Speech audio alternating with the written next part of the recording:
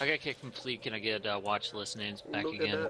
It's on the MOTD. Just go to reload MOTD. Thank you. Click the cogwheel and select reload MOTD in your chat window.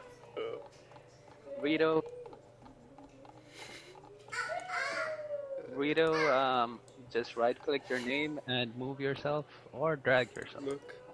Oh, oh, about to jump.